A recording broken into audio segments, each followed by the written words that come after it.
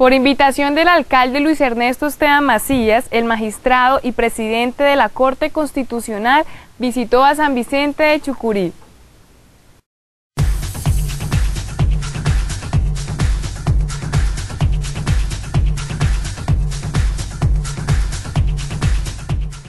Después de los actos protocolarios realizados por la banda municipal Yariguíes, el alcalde Luis Ernesto Esteban Macías, acompañado por la gestora social y secretarios de su despacho, presidió la apertura de la conferencia por el derecho a la vida. Resaltó la presencia del doctor Nilson Pinilla Pinilla, magistrado y presidente actual de la Corte Constitucional y conferencista invitado.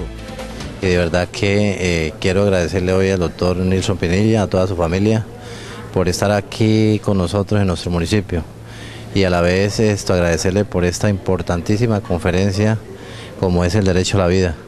Y qué bueno que hubieran participado las instituciones educativas en representación de los profesores y los niños, de verdad que fue una conferencia muy dada para ellos y la verdad que nos sentimos muy contentos y eh, algo muy motivante para todos, sobre todo los jóvenes, que la vida hay que respetarla y que la vida hay que cada día preservarla más.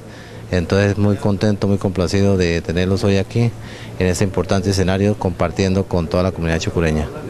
Con serenidad, el magistrado y presidente de la Corte Constitucional de visita en San Vicente de Chucurí escuchó con atención la relatoría de cómo fue la descendencia del apellido Pinilla en la comarca santanderiana. Relato que le dio pie al doctor Pinilla para iniciar su intervención como conferencista, haciendo referencia a la violencia y posterior desplazamiento sufrido por su familia después de la muerte de su señor padre Luis Antonio Pinilla. Muy complacido, realmente me siento honrado, profundamente agradado de haber tenido ocasión de volver a departir con mis paisanos de San Vicente de Chucurí, con eh, la gente de, mi familia, con estos niños que estaban en el auditorio que verdaderamente son el futuro y que hacen mantener la esperanza de que esta Colombia nuestra va a renacer y va a reconstruirse dentro de la paz.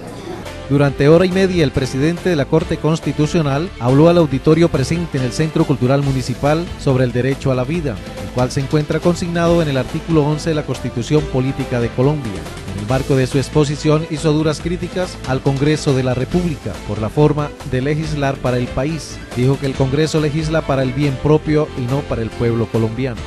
Las haré siempre y creo que la capacidad de paciencia de Colombia tiene que llegar a un límite porque es demasiada corrupción y demasiada apetencia hacia la satisfacción de los intereses particulares, olvidando el interés común y el beneficio social a que estamos obligados todos los colombianos. Aparte de su alocución, el doctor Pinilla fijó su punto de vista ante el indulto a los crímenes cometidos por los terroristas que aplican por su cuenta la pena de muerte. Dijo que para restablecer la paz y los derechos a los colombianos, las familias deben de llenarse de amor en su corazón. Por ende, invitó a los chucureños a realizar esta práctica. Eso es lo que mejor podemos hacer desde acá una población que ha sido estigmatizada, muy castigada por la violencia de todos los sectores, de todas las índoles, de todos los matices. Desde aquí también se puede lograr encabezar el movimiento de la paz y el movimiento de la preservación del amor para que la convivencia pacífica se haga posible dentro del orden justo conferencia se llevó a cabo en el Centro Cultural Municipal el pasado 23 de agosto. A ella asistieron concejales, el párroco Domingo José Manchego, estudiantes y docentes de los colegios Camilo Torres y Nuestra Señora de la Paz, comerciantes y comunidad en general, quienes salieron satisfechos por la ponencia del magistrado chucureño Dr. Nilson Pinilla Pinillo. Pues creo que tuvimos una conferencia magistral, sobre todo en el tema central que trató él, que es el derecho a la vida, ¿no?